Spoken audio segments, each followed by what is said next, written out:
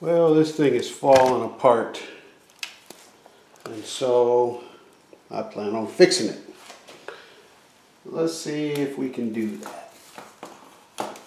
First thing I need to do is get out all of this stuff that is just deteriorated.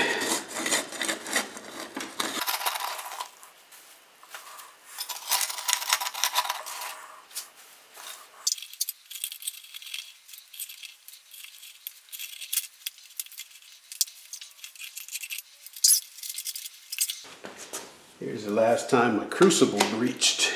It, uh, put hot aluminum down here. Let's see if I can get this off.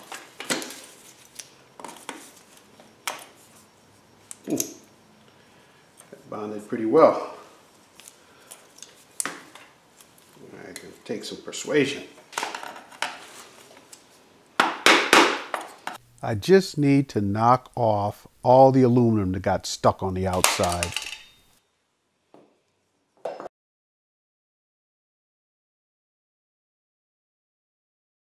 Well, boys and girls, I'm going to call an audible on this one. I was going to tear all that stuff out, but um, it's in there pretty good. So what I'm going to do is take that Satanite and just seal it with that. A couple of coats of that, and even in the top. And this top lip that has, oh, a good two inches around the top that's away. I'll put some kale Kaowool in that and Satanite. And we'll see uh, how well this baby does. Now something that everybody says that uses this stuff is that it's very bad for your lungs. So I am wearing a respirator and make sure you do that with any type of particles or stuff that can get in your lungs. You just want to protect yourself.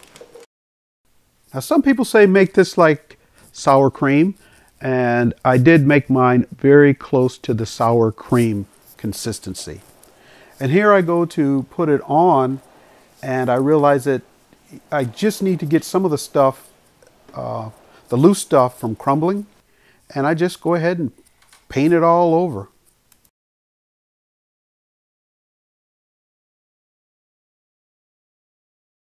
That's what that one looks like, but the, the lid is so crumbly, the stuff is crumbling, so I'll have to crumble a lot of that stuff out of there and then try to redo the lid.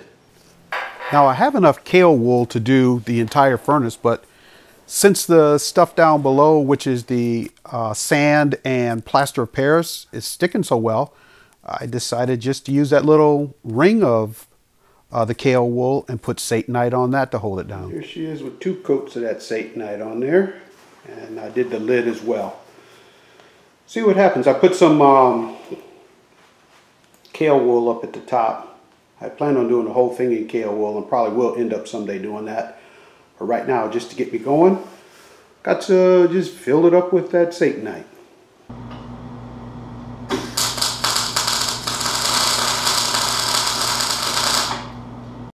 Now the aluminum that was on the outside of my kiln was from a breach in the last crucible. So here's a new one that I'm welding up. So you professional welders think you got something on me? Yes, I know it's ugly, but it does hold, guys. Now I'm taking a an exhaust reducer from an automobile and welding it on here to guide in the, uh, the torch for the kiln. Now the pail that I'm using is very thin metal, so I had to do a lot of little tacks.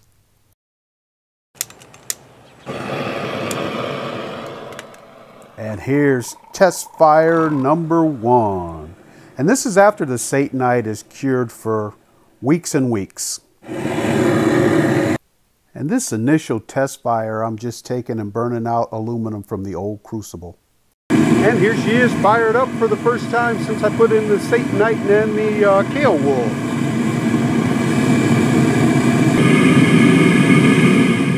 So here's the real test after the initial test there.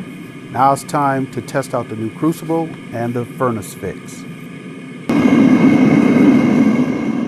Now before I start melting cans, aluminum cans, I like to get a puddle of molten aluminum down in the crucible. And it looks like she's ready to go.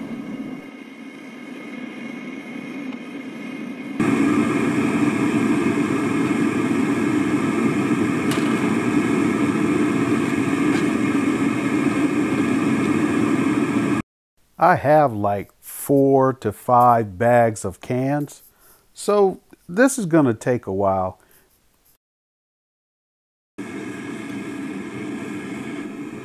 This is the remnant of a lobster net.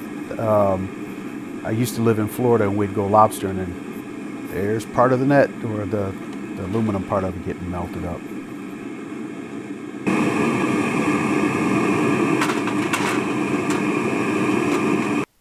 Now it's just lather, rinse, repeat. And always preheat your molds, guys, or you could get some splattering aluminum. Now this new crucible is shorter than the other one. And I miss with a lot of cans and you can see them melted along the bottom. And now it's time to take off the dross and anyone who has melted pop cans before knows there is a lot of dross.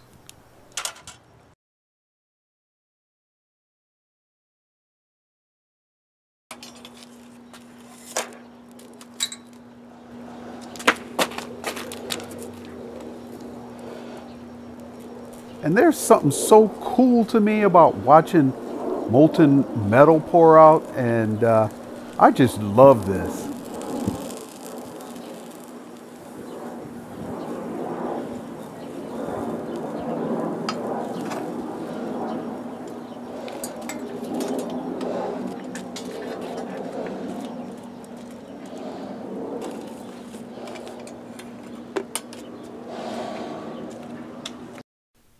And now, right back at it.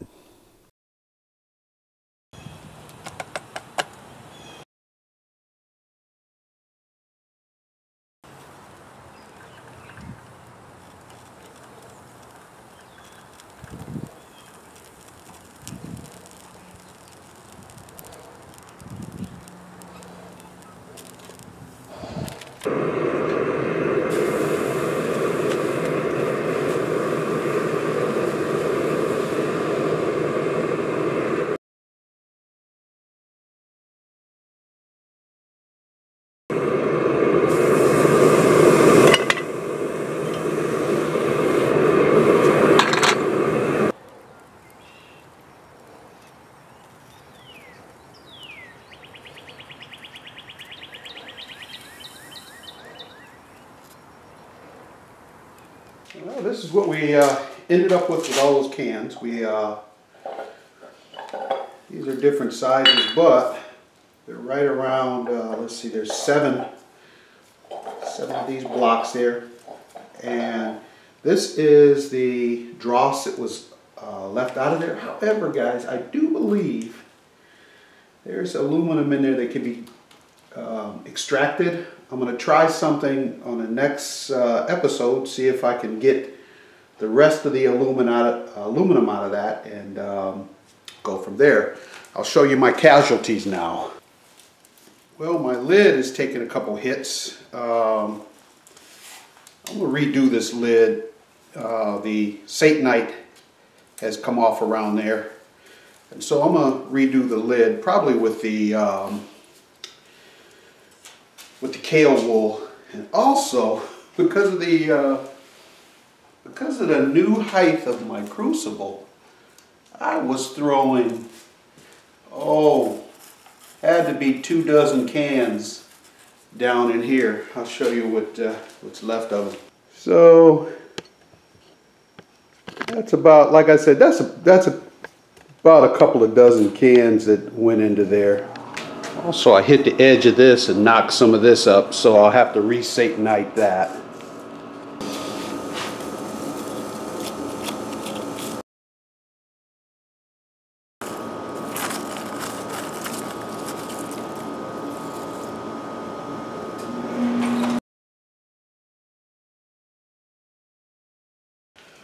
All right, so all those cans that fell down into the crucible, a lot of the junk got on here.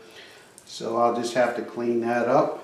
And the aluminum cans, Hey guys, there are guys that say it's not worth melting them.